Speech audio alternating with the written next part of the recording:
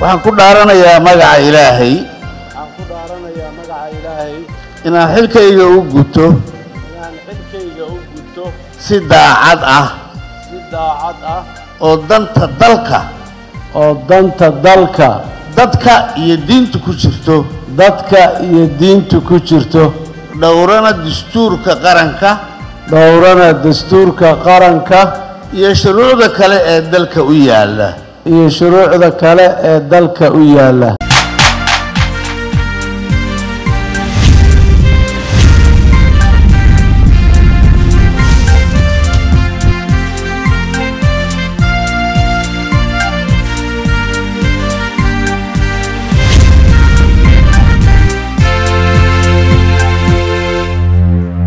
kulanti wanaagsan dhammaantiinba daawadayaal magacaygu waa cumar serbiya ku soo dhawaada warkii somaali channel oo idinkaga imanaya stuudiyaha magaalada hargeysa.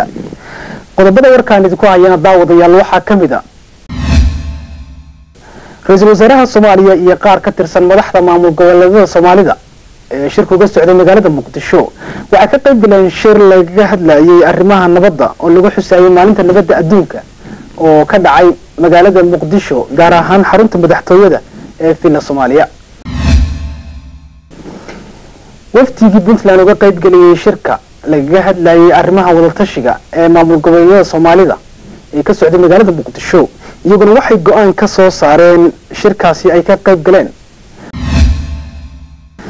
Daawadayaal sidoo kale waxaan idiin haynaa hay'adda ganacsiga ee koonfur africa iyo ganacsatada soomaalida ee dalkaasi ayaa waxaa lagu soo waramayaa in xidhiidhka u dhexeeya soo hagaagayo kadib khilaaf muddo ka dhexeeyey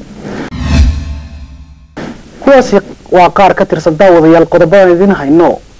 Intaasi ka horna qadar xayeysiisa ku soo dhawaada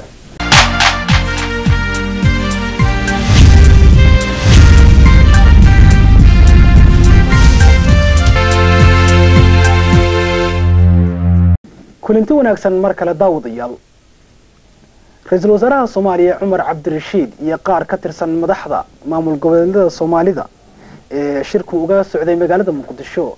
Waxay ka qayb galeen munaasabad lagu qabtay xarunta villa soomaaliya oo lagaga hadlayay xuska maalinta nabadda adduunka. Siduu magaalada muqdisho kaga soo waramayo jaamac dabraani oo ku sugan magaalada muqdisho munaasabadda lagu xusayo maalinta nabadda adduunka ayaa waxay ka dhacday xarunta madaxtooyada ee villa soomaaliya. Waxaa ka soo qayb galay ra'iisul wasaaraha soomaaliya cumar cabdirashiid cali sharmaake. Madaxda maamul goboleedyada dalka ee ku sugan muqdisho iyo weliba xafiiska qaramada midoobey oo uu goobjoog ahaa ergeyga qaramada midoobey ee soomaaliya ambasador nicholas key xubno ka socda amisom ayaa iyaguna sidoo kale kulanka joogay kulanku intii uu socday waxaa laga sheekeeyey muhiimadda ay nabaddu leedahay waxaana si weyn loogu taagtaagsaday sida ay muhiim ugu tahay dadka soomaaliyeed inay mar kale ka wada shaqeeyaan nabadda iyo horumarka. Sidii soomaaliya ay dib isugu soo laaban lahayd oo ay u noqon lahayd mid nabad ammaan ah oo isku duuban oo soomaali oo qura ah.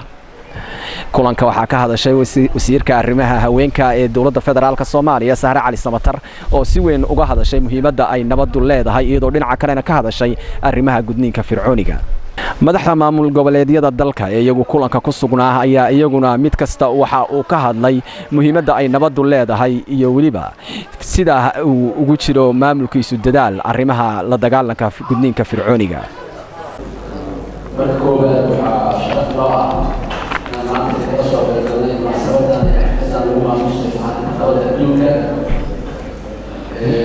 Runtii inbaa waxaa layidhi xoogaa yar faruuna maanta qabeedodeeda adugu ku faruunay waxay la tahay maanta dunidaas cid nabad oga baahi badan soomaaliya intiisu ku qari maayo sidaa daraaddeed munaasabadan waa munaasabad soomaaliyeed waa munaasabad qaran halka ay ka tahay munaasabad dunida oo dhan laakiin munaasabad soomaaliyeed oo soomaaliya ugu baahi badan tahay runtii ayay munaasabadan tahay sidaa daraaddeed qof kastoo aan inuu weyneeyo inaan calaamad ka dhigano aada iyo aada ayay muhiim u tahay nin baa waxaa laga sheegay waxaan ugu dhibaato badnaa habeenka la yidhaahdo reerkiina nin kala dilay habeenka ma saxan jirin bul sababtoo ninka loogu aari baa gara waa jira waxaana loola jiray warmoogta halalaayo reerkaa kale intayna warka helin baa wax laga soo diri jiray sidaasay weligeed ku socon jirta waa dhibaato waa shay meesha ku jira ha la dadaalo ha la iska wacyigeliyo haweenku iyaguna ha ogaadeen inay lafdhabar yihiin mujtamacaan maanta wax badan bay haween keeni karaan. Nabadda iyagaa horseedi kara. Wax badan bay horgeli karaan. Waxay la tahay baldadaala oo wax badan hala qabto. Siyaasadda iyana xaggan ka soo jeestaan. Marka hore waxaan idinka dejinaynaa horta karkan horey jira. Si aynan dhib badan ugala kulmin laakiin waktiyada dambe waa laydiin banayn doonaa meelaha hore inaad soo marstaan hadda wasiiraddu iyadaa meeshaan hadda taytan way ku haysatay waa in helaa marka farsamo cusub oo runtii qaabkii awal aan wuxu waday ka badan ee ka duwan loo sameeyo waxaana is leeyahay nabadda dhabta ah waxaa keeni kara dowladnimo aan ku dadaalo marka waxa nabadaana wada siin kara dhammaanteen annagana na kala celin kara. Qofkana ilaalin kara. Sharaftiisa waxaa weeye inaan dowladnimo helno gudniinka fircooniga saaxiibkii axmedow baa ku dheeraaday si diiniyan uga hadlay si soomaalinimana uga hadlay. Ra'iisul wasaaraha soomaaliya cumar cabdirashiid cali sharmaake oo kulanka soo xiray waxa uu ku dheeraaday inay muhiim tahay in dadka soomaaliyeed ay si weyn uga shaqeeyaan nabadda. Nabad waa juhdi loo baahan yahay maalin ilaahay keena inaan gelinno ummaddeenna iyo dalkeenna si aan u gaarno meesha aan marka waxaan idinku bogaadinayaa intiina ka soo qaybgashay iyo intiina isku xisaabtay in aad u kacdaan nabad annaga xuquuqad ahaan haddii la yidhahdo galabay gacanaa naga helaysaan soo dhowaada xuska maalinta nabadda adduunka ayaa waxa ay ku soo aaday iyadoo muqdisho uu ka socdo shirka wadatashiga arrimaha soomaaliya ee doorashada soo socotay labada kun iyo lix iyo tobanka oo halkan ay ku wada sugadan yihiin madaxda maamul goboleedyada dalka ee qaybta ka ah dowladda federaalka soomaaliya jaamac daberaani somaali channel. xarunta villa soomaaliya ee muqdisho wafdigii puntland uga qayb galay arrimaha wadatashiga ee dowladda soomaaliya la yeelinaysay maamul goboleedyada soomaaliya iyaguna waxay go'aan ka soo saareen mowqifkooda ku aadan shirkaasi ay ka qayb galeen siduu ku soo waramayo axmed maxamed jaamac oo ku sugan muqdisho afyeenka xukuumadda puntland mudane cabdilaahi jaamac qur'aan jecel oo shir jaraa'id ku qabtay xarunta madaxtooyada ee soomaaliya ayaa ka hadlay wadahadaladii u socday dowladaha xubnaha ka dowladda dhexe iyo dowladda soomaaliya. Wuxuuna afyeenku sheegay inay dowladda puntland go'aamo ka soo saartay ayna sheegtay mowqifkeeda kaga aadan shirkii ka socday caasimadda soomaaliya ee muqdisho. Dowladda puntland waxay timid sagaal iyo tobankii bishii sebtembar magaalada muqdisho iyadoo ka qaybgelaysa shirka wadatashiga ee soomaaliya ee doorashooyinka waxayna go'aansatay dowladda puntland inay si buuxda shirka uga qayb gasho oo ay goobjoog ka noqoto masiirka soomaaliya meesha lagu go'aaminayo. Sagaal iyo tobankii waxaa furmay shir waxaa ka qayb galay madaxweynaha dowladda puntland. Madaxweynuhu wuxuu u sheegay ummadda soomaaliyeed dowladda federaalka iyo dowladda xubinta ka ah dowladda federaalkaba in dowladda puntland ay qabto aragtiyooyin iyo shuruuc in lagu saleeyo qodobo badan. Isla markaana laga wada hadlo miiskana la soo saaro. Sidoo kale madaxweynuhu wuxuu u sheegay beesha caalamka inay dhexdhexaad u noqdaan ummadda soomaaliyeed. Aysan cid gaara iyo garab gaara iyo magaalo gaara aysan xigsan. Isla galabtii waxaa dowladda puntland ay ka qayb gashay guddi farsamo. Ergadii dowladda puntland shirka uga qayb gashay miiska markii fadhiisatay waxay soo bandhigtay laba qodob. Oo qodob koowaad uu yahay in shirka sharciyad la waafajiyo dadka fadhiya iyo dadka masiirka ummadda soomaaliya muxuu ka gaaray go'aan ka gaaray ay yihiin dad sharciyad ku fadhiya aysan noqon dad laska soo fariisiyo. Sidoo kale inuu noqdo shirkaas wax allaale wixii horey loo qoray oo ka horreeyay dowladda puntland in miiska la soo saaro oo hadda laga wada hadlo oo hadda laga bilaabo labada qodob kadib dowladda puntland markii dowladda federaalku ay ka qancin weyday waxay ka baxday shirka kadibna waxay go'aansay dowladda puntland inay masiirka soomaaliya laftigeeda ay qayb ka tahay ummadda soomaaliyadna ay madax u tahay iyaduna ay mowqifkeeda iyo aragtideeda iyo boosishinkeeda ay ka joogto sida doorashada labada kun lix iyo tobanka u qabsoomi doonaan ay miiska soo saarto. Dowladda puntland waxay ku qaadatay sagaal iyo tobankii iyo labaatankii iyo kow iyo labaatankii oo maanta ah saddexdaa maalmoodna waxay dowladda puntland u joogtaa muqdisho si u soo bandhigi lahayd masiirka ummadda soomaaliya sida iyada ula muuqdo ama uu noqon karo. Mahadsantiin. Marka aad leedahay miis baanu ka kacnay oo sharciyad dadka fadhiyay baan sharciyad ku fadhiyin. Cabdikariim guureed baad diidayseen waxaan soo bandhignay dowladda puntland una sheegtay shirka laftigiisa madaxda meesha joogtaa iyo shacabka soomaaliyeedba sano kadib oo la burbur ama sano kadib in la iskugu soo noqday sharciyad in la iskugu soo noqday dastuur in wax la wada qortay in wax lagu heshiiyey burburkii soomaaliya kadib in isaga la ilaaliyo. Dowladda federaalkan ay dowlad ku tahay dastuurka puntland ay puntland ku tahay dastuurka. Haddii la qeexi waayo yaa dastuurka buuxiyey yaan buuxin qofka meesha fadhiya awoodee ku fadhiyaa sharcigee leeyahy oo ku hadli karaa masiirka soomaaliya go'aan ka gaari kara. Haddaan la qeexin inaysan dowladda puntland ka qayb qaadanayn duminta iyo kutumashada shuruucda dalka mar la weydiiyey afyeenka dowladda puntland. Qodobada ay dowladda puntland ay diiday inay ka mid tahay hanaanka caasimadda soomaaliya iyo qodobo badan oo ku jira dastuurka soomaaliya wuxuu kaga jawaabay. Dowladda puntland aragtiyooyinkeeda waa waadix wax qarsoon ma aha waxay qabtaa in dalka doorasho ka dhacdo waxay qabtaa in caasimadda somalia laga wada hadlo waxay qabtaa in aan lagu dari karin hal maalin doorashooyinka soomaaliya waxaasoo dhan laakiin lama gaarin miiskaan soo fadhiisanay fadhigana wuxuu ku fadhiyey waxaan ka hadalnay sharciyad aan ka hadalno sharciyad wixii sharci ha fadhiyaan waxaan sharcina iska tagaan. Haddii kale sharci daraan kulliga noqonaynaa shirkun waa xiriyaan ku baxna saas uga soo baxno waa mahadsantihin axmed maxamed jaamac telefishinka caalamiga ee somaali janal muqdisho. Geesta kale wariyahayaga jaamac dabaraani oo ku sugan magaalada muqdisho. Waxa uu marxaladihii shirkaasi soo maray uu ka waraystay afhayeenka dowladda puntland cabdilaahi jaamac quraan jecel markii uu wariyaasha la hadlay afhayeenka dowladda puntland cabdilaahi quraan jecel ayaan si gaara ula kulmay. Bal wixii aad noo sheegtay waa maqalnay. Waxaad noo sheegtaa kulamadu siday u socdeen iyo waddooyinka la maray. Inta kulanaa ka maqneedeen iyo waxyaabaha kale dhacay jaamacad baa mahadsan tahay. Dowladda puntland waxay halkan timid sagaal iyo tobankii bishii sebtembar waxay ku timid oo ay ajiibtay inay madasha soomaaliya ay ka soo qayb gasho. Isla markaana waxay horay marar badan u sheegtay inaysan ka soo qayb geli karin maadaama ay shuruuc badan iyo dastuurkii oo lagu ciyaaray wax dhibaato badan ay jirto. Kadib go'aanka dowladda puntland waxbay ka bedeshay waxay dowladda puntland go'aansatay inay masraxa timaado isla markaana ay masraxa ka sheegto waxa la wado iyo shaqada socota iyo waxyaalaha qaldan intaba ka soo degiddii aan ka soo degnay magaalada muqdisho kadib soo dhaweyntii madaxweynaha waxaa laga qayb galay shirkii dahafurka ahaa oo madaxweynuhu ka hadlay.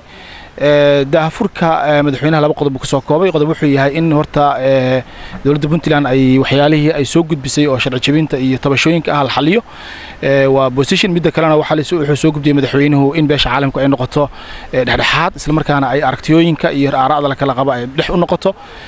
Kadib galabnimadii waxaan galnay shir baan galnay shirkaasi shir farsamo ahaa. Markii shirka anagu aan soo fadhiisanay isla markii waxa anagu aan shir gudiyada farsamada oo isteediyada iyo ka soo qayb galeen iyo dowladda federaalka iyo beesha caalamka. Marka anagu soo fadhiisanayna waxaan soo gudbinay waxaan rabnaa inta aan shirku furmin isla markaana aan laga hadlin si indhala-aan aan loo gelin wax kasta in laba qodob la xaliyo qodobkaad wuxuu yahay wax alaal wixii la soo qoray oo waraaqaha miiska saaran iyo wixii intaasoo bilood la diyaargaraynaya dowladda puntland qayb kama ahayn wayna ka maqnayd. Inay haddeertan dowladda puntland goobjoog ka ahaato wax kasta ay u socdaan si ay u fiiriso waxaan danta soomaaliyeed inay yihiin isla markaana danta puntland ay yihiin oo ay u kontrolsho midda labaad dadka fadhiya sharciyadooda in loo sheego waayo dowladda puntland waxay ku dhisan tahay dastuur waxay ilaalisaa dastuur. Shacabka soomaliya dastuurkaas iskugu yimid burburkii kadib waxaa noo soo baxday labadaba inaan diyaar loo ahayn ama aysan dowladda federaalka awood maanta u lahayn inay ka jawaabto su'aalaha aan qabno si kastaba ha ahaadaan. Saa awgeed dowladda ka baxday waxaan uga soo baxnay shirkaas shirkaas maba aanu ku noqon. Intii laga gaaro maanta ilaa hadda maba aanu ku noqon. Wax dambe shira waxaa jira shir kale oo sare oo madaxda sare ee dalka la isugu yimid oo sidoo kale madaxweynaha si gaara internationalka iyo madaxda federaalka iyo ay ugu yeeraan. Madaxweynuhuna positionka iyagii buu istaagay. Waxaa anagu ergadii aan soo diray iyo wafdigaygii iyo positionkeena waad aragteen wax gaaroo hadda anigu aan ma aragtay muxuu ahaa idinla idinla gaarayana ma jirto saas awgeed dowladda puntland way waan waxaan go'aansanay inaan maadaama aan joogno muqdisho maadaama lagu qalayo hashii soomaaliya ugu weyneed oo doorashada ahayd inaan dhex fadhino isla markaana aan anagu laftigeenu keenno hoggaan la nimaano oo ah inaan wax la soo qortay oo maalin kasta oo dow qaldan maraya oo hadhowna soo xirmaya. Inaan goobjoog noqonno anagu aan idhaahno shirkan anagu qayb kama nihin waxa aad wadaan oo dhan laakiin waxaan wadnaa sidii soomaaliya wax iskugu imaan lahayd. Anagu laftigan soomaali baan nahay doodaas halkaa ka furantay. Hadlaysaan dalka soomaaliya waa laba. Waa dastuurka dowla maamulo buuxiyey oo dastuuri ah iyo maamullo ay dowladda dhex wakiil ka tahay oo aan dastuuri ahayn. Xuquuq bay leeyihiin inay hiiraan iyo shabeelle iyo galgaduud iyo kulli fadhiyaan. Laakiin waxaa u fadhiya wasaaradda arrimaha gudaha baa u fadhida. Waxaa dowladdii federaalka fadhida markay buuxsamaan oo shaqadooda ay qabsadaan waxaa imaanaysa oo dhab ayna maslax imaan doonaan inay laftigooda awood u yeelan doonaan sharcigaana siinaya aniga waxaan ka hadlayno uma fadhino qaab jabhadeed waxaan fadhina qaab shuruuceed. Marka sharci ahaan inaan u soo fadhiisano yaa sharci ah yaan sharci ahayn. Yaa idinla qaba marka adiga puntland maahan yaa kaloo idinla kuma khasbinin anagu inaan cidna haba yaraatee taageero ka raadsano puntland. Waa puntland dowladda soomaaliya oo aan jirin bay jirtay. Haddeertaana dowladda soomaaliya bay waxay u tahay wadnaheeda. Ninkii marka wadnaha nacaya oo beerka iyo keliyaha qaadanaya waa soo dhaweynaynaa jubbaland waxaan maqlnay inay idinla qabto go'aanka puntland jubbaland waa state iyadana aragtideeday qabtay doodaheeday qabtay laftigeeda shirka markii dambe way ka baxday. Laakiin anagu haba yaraatee waxaan mar kasta awoodda saaraynay in anagu puntland doodeeda iyada weydiin doonta laakiin waxaan hayaa inay ka doodayeen kumeel gaarnimo iyo in laga saaro iyo yaan laga saarin. Analyst hana la dhaho. Iyagana kumeel gaar baa u qoraa arrimo noocaas ay ka cabanayeen laakiin waa ku taageerana wixii wanaagsan iyagu ay ku horumarayaan oo sharciyada annaga ku taageerana annaguna teenaan sheeganayna marka goorma laga yaabaa inaad soo gebagabaysaan howlaha socda hadda. Waxay ku xiran tahay sida habba annagu aan u gudbinno positionka puntland oo dhabta aana u gaarsiino meeshaan doonaynay. Oo ahayd dowladda federaalka oo ahayd maamulada jira oo ahayd internationalka inaan geyno positionkayaga aad baa umahadsantaa markii uu soo dhammaaday hadalka uu wariyaasha siiyey afhayeenka dowladda puntland ayaannu isku daynay inaannu wax ka weydiinno dhinaca dowladda federaalka soomaaliya taasi oo noo suuroobi weyday. Ilaa iyo haddana waxaannu sugaynaa bal wararka kale ee ka soo baxa dhinacyada kala duwan ee kale ee ka qaybgelaya shirka. Jaamac debaraani somaali janal xarunta madaxtooyada ee soomaaliya muqdisho. Waxaa soo hagaagaya xidhiidhka u dhexeeya ganacsatada soomaalida ee dalka koonfur africa iyo hay'adda ganacsiga ee dalkaasi kadib khilaaf muddo ka dhexeeyay arrimaha ganacsiga sida uu warbixintan ku soo diray cabdilaahi balwaan waxaa soo hagaagaya xiriirka u dhexeeya hay'adaha u qaabilsan south africa arrimaha ganacsiga iyo ganacsatada soomaaliyeed ee ku dhaqan dalkani koonfur africa kadib markii xurgufi ay soo kala dhex gashay hay'adahaasi iyo weliba ganacsatada soomaaliyeed ee ku dhaqan dalkani south africa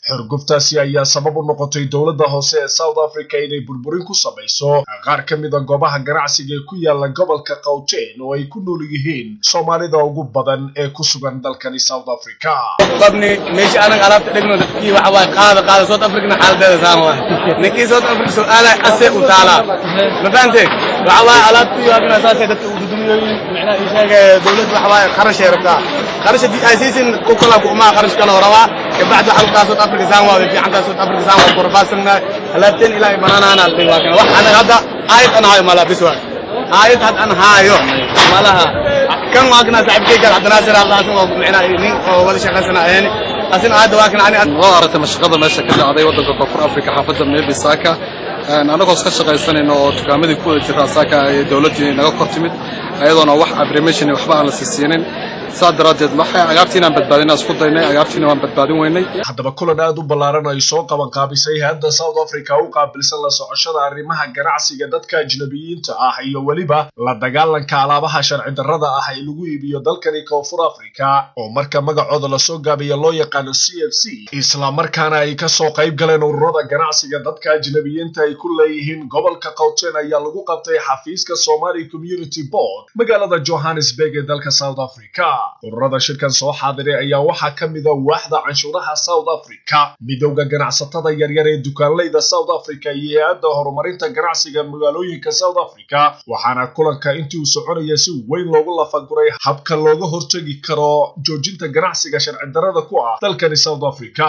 Guud ahaan xubnihii ka soo qayb galay shirka ayaa wada seexay in guud ahaanba laga joojiyo goobaha ganacsiga in lagu iibiyo waxyaabaha wax u dhimaya shuruucda ganacsiga south africa. Cabdirisaaq maxamed geedi oo ka mid a madaxda jaaliyadda soomaaliyeed ee south africa somali community board ayaa somali journal u sharaxay qaabka sharcigan looga hirgeli karo gudaha south africa islamarkaana loo gaarsiin karo soomaalida kale ee ku dhaqan guud ahaan gobollada dalkani south africa. Waxaan u malaynayaa sida ka muuqataba warqadan haddaan samaynay baleedka weyn ee annagu aan saxiixnay ama xafiisaan aan saxiixnay waxaa la socda oo garab socda. Mid yar oo anugu talagalnay dadka shakhsiyaadka ee dukaamada leh in loo geeyo qof waliba uu saangareeyo loona sheego sharciyada daba yaalla. Qofka hadduu dembiga ku xadgudbo iyo waxa uu la kulmayo iyo cawaaqibta ay leedahay. Marka waxaan rajaynaynaa insha allah sidaad ka warqabtaanba ururo badan oo hadda ay ku jiraan horumarinta ganacsiyada yaryar iyo tuulooyinka oo ay ku midaysan yihiin foreign fara badan oo soomaalida ay ku jiraan isku soo wada duubee dadaalka baaxadda weyn ee wadaan somali community board oo ah jaaliyadda ku hadasha afka soomaalida ku dhaqan south africa ayaa si weyn looga dareemayaa guud ahaan gobollada dalkani south africa waxayna tillaabtan muujin doontaa jiritaanka ganacsiga soomaaliyeed ee south africa. Cabdilaahi balwaan somali journal koonfur africa. Taliyaha cusub ee ciidanka booliska puntland waxa uu xilkii kala wareegay taliyihii hore ee xilkaasi uga horreeyey siduu ku soo warramayo sicid soona oo garoowe jooga. Xil wareejinta taliyaha cusub ee ciidanka booliiska gobolka nugaale cabdiraxmaan xaaji abshir qaanqaan islamarkaana uu kala wareegayey taliyihii hore axmed samatar layli oo ku maqan kuliyadda tobabarka booliiska ee magaalada carmo. Waxaa ka qayb galay gudoomiyaha gobolka nugaal taliyaha ciidamada booliiska puntland iyo saraakiisha ammaanka waxaana ka qabsoontay xarunta taliska ciidanka ee garowe taliyaha ciidanka booliiska puntland genaraal cabdirasaaq maxamuud yuusuf afguduud ayaa sheegay in xilkan loo magacaabay cabdiraxmaan xaaji abshir qaanqaan waxaana uu taliyuhu soo hadal qaaday. Dad uu sheegay inay nabadgelyada wax u dhimayaan kuwaas oo uu xusay inay ku howlan yihiin sidii ay wax uga qaban lahaayeen. Waxaan saaka jecel lahay halkan inaan xilka ugu wareejinno taliyaha qaybta cusub gaashaanla sare cabdiraxmaan xaaji abshir iyadoo xilkan muddo laga joogo ayaam laga wareejiyey gaashaanla sare axmed cabdulaahi samatar oo isagana loo magacaabay taliyaha kuliyadda carmo oo maqan hadda oo kulli jira shaqadiisii xilkaasna si kumeel gaara uu sii hayay taliya xigeenka ciidanka booliiska gaashaanla sare bile saakana uu ku wareejiyey cabdiraxmaan xaaji abshir. Maadaama sarkaalkii hore horey xilka looga wareejiyey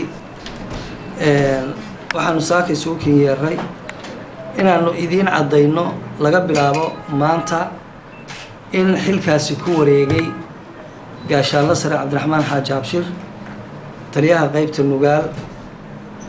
Sarkaalka ma aha markii koowaad iyo markii labaad oo ka soo shaqeeyay qeybtan waxaan filayaa waa markii saddexaad oo lagu soo celiyo. Qof walba inta alla u qoro buu fadhiyayaa laakiin qof kasta wixii raada ee uu uga tago wanaag iyo xumaan ayaa u diiwaan gashan. Cabdiraxmaan waxaan leeyahay ku soo dhawow xilkaas annaga taliska guud aan kuusii haynay oo taliya xigeenkuu kuusii hayay waa kugu wareejinay gudoomiyaha gobolka nugaal cumar cabdulaahi faraweyne oo munaasabada hadal ka jeediyay ayaa sheegay inay taliyaha ku gacan siinayaan xoojinta ammaanka gobolka ayna wax ka qabanayaan dhalinyarada habeenkii nabadgelyo darrada ka wada magaalada gudaheeda. Ninkii xiray baa furo ninkii yaqaan meeshu ka xiray. Waa nin ka soo shaqeeya gobolka. Oo yaqaan meelaha ay wax ka jiraan oo shaqada gobolka ka socoto waa nin garanaya haddaanu ishellay annaguna aanu ammaanka awal iskala wada shaqaynay waxaan filayaa wax badan oo badan oo badan oo ammaanka wax lid ku ah inaan wax badan ka qaban doono oo uu hormuud noogu noqon doono annaguna aanu ku hogaamin doono haddaanu ahay kan gobol ahaan haddaanu nahay. Dadka reer nugaaleed maadaama meeshaanu caasimaddii tahay in la shaqeeyaan booliska iyo ciidamada kale meeshaanu waa xaruntii dalka waa caasimaddii puntland. Ciidamo badan baa degan xoog badan baa isugu yimi. Haddii haddii iska jiraan kuwa rabsho wadayaala oo booliska ka xoog roonaadana milatarigii dalkuna meesha waa fadhiyaa. Taliyaha cusub ee ciidanka booliiska gobolka nugaal cabdiraxmaan xaaji abshir qaanqaan oo xilkan la wareegay ayaa ku goodiyey inay gacan ula tegayaan dhallinyarada habeenkii moobilada furta. Intii xilkan loo magacaabayna ay soo qabqabteen qaar badan oo ka mid a dhallinyaradaas waxaan wada jir u sii wadno. Idinka bahda saxaafadda waxay inii sheegayaa amniga qayb weyn baa ka tihiin. Inta moobilada iyo korabshinka furta taliyaha ciidankuna digniin buu siiyey. Qabsada anigu malihiiy waxaa leeyahay waalidiinta la soo qabanaya. Wiil walba ninkii dhalay baa la soo qabanaya magaalada ku soo daystay. Mas'uulka ahaa. Baa la soo qabanaya wiilkiisa dusa magaalada kaa shaxan wax badan iyo wax badan ba hadda intay magacaabistu ay soo baxday amniga iyo magaalada la gacan geliyey qaybna xabsigay jirtaa qaybna saaka la gudbinaya oo salligay ku jirtaa inta kaleetoo dhimanna waa bartilmaamadii aan u soconno inuu ka guulgaarayna ilaahay. Weydiisay xiriirka biliiska iyo arrimaha bulshada awal iskumaysa xirnay lase inaan isku xirnaa hadda meesha lanoo keeno taliya qaanqaan waa markii saddexaad oo xilkan loo magacaabo. Waxaana shacabku ay ka sugayaan waxa uu ku soo kordhiyo ammaanka gobolka nugaal soona wararka somaali janal garowe. Shirkadda somtel magaalada garowe waxay abaalmarin gaadhi nooca raaxada ah ku guddoonsiisay. Haweenay ka mid ah macaamiisha shirkadda ee ku nool magaalada garowe sida uu mar kale ku soo waramayo siciid soona oo garowe jooga. Maamulaha guud ee shirkadda somtel sayid maxamed cabdulla xasan oo maanta warbaahinta kula hadlayay magaalada garowe ayaa gaari nooca raaxada ku wareejiyey degan muuse maxamed oo ka mid a macaamiisha shirkadda. Waxaan rabaa halkaan inaan uga faa'iidaysta maantayto saami celintii dadkii saddexda doolar ku shubtay oo labada doolar siyaadada helay nasiibkooda wixii kale uu siiyey ilaahay ugu dara nasiib oo ay ka mid tahay qofta la yidhaahda degan maantayto halkan waxaa lagu wareejinaya ku guulaysatay gaari. Ayadana waxaan halkan uga faa'iidaysanaa fursaddan in gaarigeedii lagu wareejiyey maantayto ilaahay idankiis. Degan ayaa gaarigan la guddoonsiiye ku heshay adeega saami celin oo shirkaddu ugu talagashay macaamiisheeda maamulaha ayaa sheegay inay degan tahay. Qofkii ugu horreeyay ee adeegan gaariga la guddoonsiiyo nasiibkeedana ay ku heshay. Degan muuse iyo saygeeda cabdinuur ismaaciil ayaa shirkadda somtel uga mahad celiyey gaarigan ay ku wareejiyeen waxayna degan ka hadashay sida ay ku heshay gaarigan. Aad iyo aad baan ugu faraxsanahay shirkaddana waa u mahad celinaya mar labaad iyo mar saddexaad. Aad iyo aad gaarigan aan la wareegno. Maanta waxtadii ka mid noqdo aad iyo aad baan ugu faraxsanahay shirkadda somtel hawsha ay qabatay waa soo dhaweynana waa u mahad celinayna mar labaad iyo mar saddexaad. Shirkadda somtel oo ka mid a shirkadaha isgaarsiineed ee ka howlgala deegaanada puntland ayaa waddo qorshe ay ku soo jiidanayso macaamiisheeda isticmaalo adeegyada kala duwan. Waxaan rabaa inaan sheegno haddii la haydmo ciidda barakaysan iyo ciidul adxa waxaan ugu talagalnay dadka macaamiisha waxaan u malaynayaa baryahan aad iyo aad baa waxaa loo xiiseeyaa aaladda internetka oo xiriirkii fududaysay maqal iyo muuqaalba arrinta internetka waxaa jira markii qofku soo gashanayo lacagta isdiwaangelinta lacagtaasi waxa weeye ciidda barakaysan darteed waxa weeye inta ciidda lagu jiro ilaa iyo laga bilaabo beri oo bishu ay tahay labiyo labaatan bisha sebtembar oo ku beegan maalin talaadaa laga bilaabo maalintaas aan sheegnay ilaa iyo laga gaarayo bisha dhammaadkeeda soddonka bisha waxa lacaga laga qaadmayo qofka lacagta isdiwaangelinta internetka arrintaas waxaan malaynayaa farxad badan inay gelin doonto macaamiisha somtel ee gaar ahaan internetka xiisaynaysa. Arrinta kaloo aan rabo oo ka sii bishaarada badan arrintaas oo aan rabo meesha aan kale maanta ka sheego ilaah idankiis waxa weeye saynu ognahay muslimiintii waxaa la gudanayaa waajibaadkii xajka waxaa la jiraa xajkii ilaahay inta u kasay. Intii kaloo muslimiinta ahaydna waxa weeye inta xajka jira be ayaguna waxa weeye la qalbi yihiin.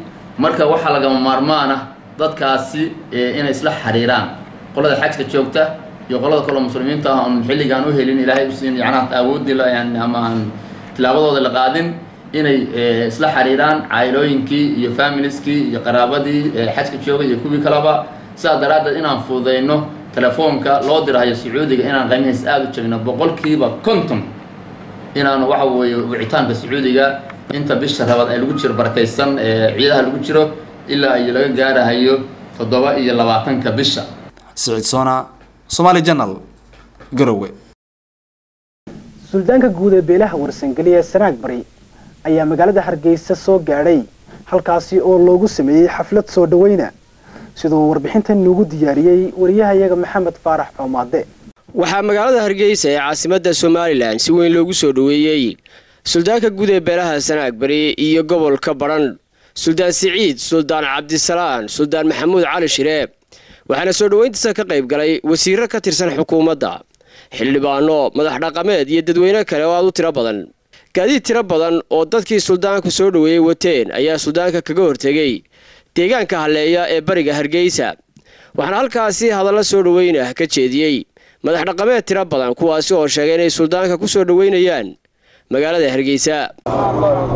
Waxaanu ka mahad celinaynaa sida sharafta leh ee aad noo qaabisheen ee noogu soo bambaxdeen ee howlihiinna u soo xidheen ee aad suldaanka iyo wafdigiisa iyo odayaasha la socda u soo dhoweyseen aad iyo aad iyo aad baanu idinka mahad celinaynaa ilaah baa mahadle.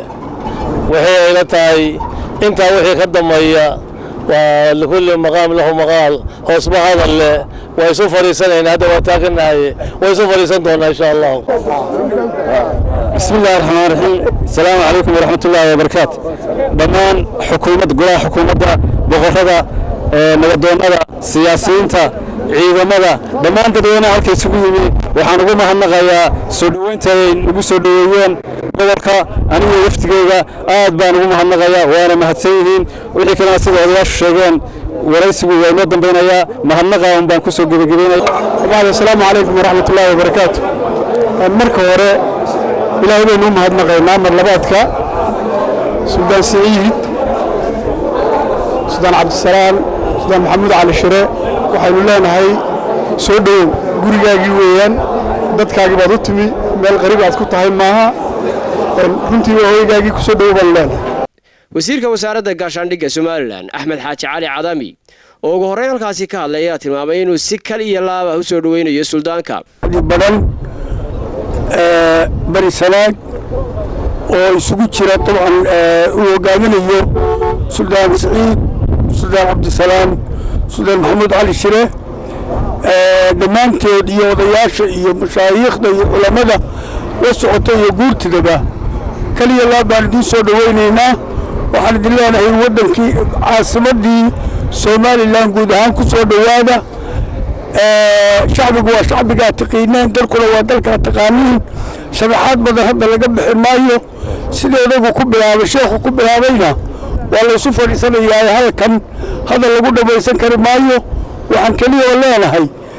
Waa sida aan idiin soo dhoweynaynaa waa naga keliya laab. Waa naga waa naga niyad. Xagga lagama yaqaan nifaaqa iyo xanta waa yar tahay. Mar haddaad hargeysiyo timaado way ka caagan tahay waxyaabahaas waa ka caagan yihiin runtaa laysu sheegaayo wejigaa lagaa saaraya. Haddii wax laguu qabana dadkaad ka dareemi. Haddaad khayrqabo tahayna dadkaad ka dareemaysaa. Wasiirka duulista hawada maxamuud xaashi cabdi oo hadallo ka soo jeediyey ayaa iyaguna sidoo kale waxa ay soo dhoweeyeen suldaanka. Sharaf weyn bay noo tahay. Inaannu maanta halkan ku soo dhoweyno wafdiga ballaadhan ee uu hogaaminayo suldaan siciid suldaan cabdisalaam suldaan maxamuud cali shire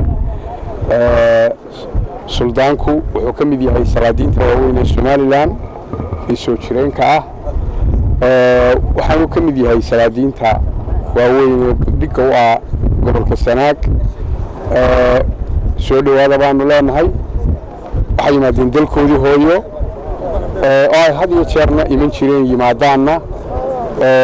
Waa muxuu ahaayey gacmo furan iyo niyadsan munaasabad lagu dabaaldegayey koob iyo labaatanka sebtembar oo ku beegan maalinta nabadda adduunka laga xuso sanad kasta dunida ayaa waxaa lagu qabtay xarunta gobolka beledweyne ee hiiraan siduu warbixin arrintaasi la xidhiidha ku soo diray bashiir cabdilaahi cismaan iyadoo maanta ay tahay maalinta nabadda adduunka ayaa munaasabada lagu maamuusayay. Waxay ka dhacday magaalada beledweyne oo ay soo qabaqaabiyeen ururka dhalinyarada gobolka hiiraan iyadoo munaasabada ay ka soo qayb galeen qeybaha kala duwan ee bulshada ku nool magaalada beledweyne. Goobta ay ka dhacaysay munaasabada ayaa waxaa lagu soo bandhigay boorarka turjumaya nabadda iyo isdhexgalka bulshada iyo sidii loo horumari lahaa dalka soomaaliya. Intii ay socotay munaasabada ayaa lagu soo jeediyey khudbado kala duwan oo ku aadan muhiimadda ay leedahay isdhexgalka bulshada. Ugu horeyn waxaa ka hadlay gudoomiyaha ururka dhalinyarada gobolka hiiraan maxamed cabdulaahi waxaana uu sheegay in ay sii socon doonaan isdhexgalka. Maanta waa maalintii nabadda adduunka. Waa maalin qiimo weyn ku leh oo ogtii nabad waxay tahay. Ururka dhalinyarada gobolka hiiraan wuxuu go'aansaday maalintan maaragtay inuu maadaama adduunka dhan laga cusaayo. Muhiimadda ay leedahayna la wadoog yahay. Annaga maadaama aan ururkii dhalinyarada gobolka hiiraan wuxuu xil naga saaran yahay meeshii aan madaxdu ahayn aan joognay waayo cid kaloo laga sugaayo ma lahan in maaragtay wixii arrimo bulsho ah inay qabato nin walba hawshiisa maaragtay inuu qabsado. Marka maadaama la joogo maanta koo labaatankii maaragtay sebtembar waxaan u istaagnay maalintaan maaragtay si qurux badan inaan maaragtay u sagootino oo aan u xusno maaragtay aan dhankeena uga qaadano. Si maaragtay aan u tusno annagana maaragtay nabadii maaragtay sidaan ugu qayb waxaan aad ugu mahadcelinayaa dhalinyaro ururka maaragtay isku hawshay. Dhammaan dhalinyarada reer hiiraan in maaragtay magaaladooda ama gobolkooda maaragtay inuu nabad noqdo. Nabaddana maaragtay waxaa keeni karo dadka maaragtay dadkii iska lahay meeshaas deegaankaas jooga mar walba ayaa keeni karo. Nabad maaragtay dad kor lagaaga keeni iyo maaragtay ciidan shisheeye kor lagaaga keeno ma keeni kara. Sidoo kale maanta inaan maalintii nabadda qabanno waxaa maaragtay naga qarashkeeda naga maaragtay naga naga dhaxshay maaragtay oo barnaamijka inuu dhaco maaragtay mas'uuliyaddeeda lahay ee gudoomiyaha gobolka hiiraan oo hadda safar shaqo ku jiro magaalada qaahira ee dalka masar. Waxaa waaye gudoomiyaha waa mahadsan yahay maadaama uu naga koofargareeyey inaan maaragtay xafladaan qabano qaar ka mid ah ururka dhalinyarada gobolka hiiraan oo dhankooda ka hadlay maalinta nabadda adduunka ayaa waxa ay dhankooda ka hadlay maanta waa maalintii nabadda. Waa maalin aad noogu muhiima waxaana soo abaabulay ana ka tirsan dhalinyarada gobolka hiiraan waxaana intaaganahay juhdi iyo waqtiga ku bixinaynaa soo ururkan nabad oo u heli lahay oo horumar noo gaari lahay. Waxaa farxad labaadee dhan waxaa ka hadlay taliyaha booliska degmada beledweyne caladhuux waxaana uu sheegay in loo baahan yahay in layska kaashado nabadda iyo isdhexgalka. Waxaana uu ka hadlay munaasabadii ka dhacday magaalada beledweyne. Nabadda adduunka loo asteeyey oo ah koob iyo labaatanka setembar. Annagu haddii aan nahay ummadda soomaaliyeedna waxay ila tahay maalintaas waa inaan si gaara u qiimaynaa si aan nabadeennu u soo ceshanno. Kan nabadda ka hor imaan aan iska qabanno innagu haddaan nahay ciidanka booliiska saldhigga magaalada beledweyne hadda waxaan bilownay dhaqdhaqaaq. Markaan kalsooni ka helnay walaalaheenna bulshada reer hiiraan oon aragnay. Kama sheekaynayna tabarteen tabarteenna tabarteennu waa moralkeenna. Waana kalsoonida aan idinka haysano iyo dhiirigelinta aadna siiseen. Haddaad nala shaqaysaanna adigoo hurdaa ayaa sidan habeenadaan ka samaynaynin dushiina ilaalin doonaa si aad u hurudaan oon qarax u dhicin oon dhibaato u dhicin oon wiil idinka dilin oon bustaamina u gaadin qoysaarintii adinka aadi adeegayo qaatimiinta idin ahayd xagga amnigaa nahay. Haddaad nagu taakulaysaan shaqadeenna oo walaalow marka aad aragto gurigaada agtiista kaad wax ka qaban kartana intaad qabato loogu yeerto. Kaadan wax ka qaban karinna aad noo soo digto oo noo soo sheegto oo tilmaanna siiso wallaahi nabadda qof leexin karaa ma jiro. Maahan markii ugu horeysay munaasabad lagu qabto magaalada beledweyne taa oo laga hadlayo isdhexgalka bulshada iyo nabadda. Ay ku bogaadiyeen markaas gobolka hiiraan in ay shaqeeyaan nabadda ay tilmaameen in loo baahan yahay bashiir cabdullahi cusmaan telefishinka caalamiga somali journal beledweyne xus kale oo qayb ka ah maalinta nabadda adduunka ee koob iyo labaatanka sebtembar waxaa lagu qabtay magaalada nairobi xarunta dalka kenya siduu warbixin arrintaasi ku saabsan inagu soo diray cabdiraxiin ilbuur. Banaanbaxani oo ahaa mid si weyn loo soo agaasimay islamarkaana ay ka soo qayb galeen xildhibaanka laga soo doorto degmada kaamakuunji oo ay ka tirsan tahay xaafadda islii. Xildhibaan yuusuf xasan cabdi iyo mas'uuliyiin kale ayaa lagu maamuusayey maalinta koob iyo labaatanka sebteembar oo ku aastaysan maalinta nabadda adduunka oo sanad waliba sidani oo kale loo maamuuso.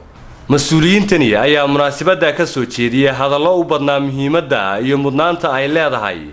In guud ahaanba nabadda lagu soo dabaalo dalka soomaaliya oo muddo ay ka jireen colaada sukeeye. Barnaamijkan maanta annagaa soo qaban qabin oo banaanbaxa lagu xusayo oon dadkanu ku baraarujinayno in ay barnaamijyada noocan ka soo qayb galaan waqtigooda ay siiyaan danta guud oo aan lagu mashquulin kaliya dan shakhsiyeed iyo ganacsiga marka howlo badan ayaan qabanaa dadka lala'yahay waa raadinaa wixii la soo helo waa soo intaan keenaan aaskahooda iyo waxooda habaynaa wixii la xiro loo yaraan u qabanaa wixii aan markaas awoodin.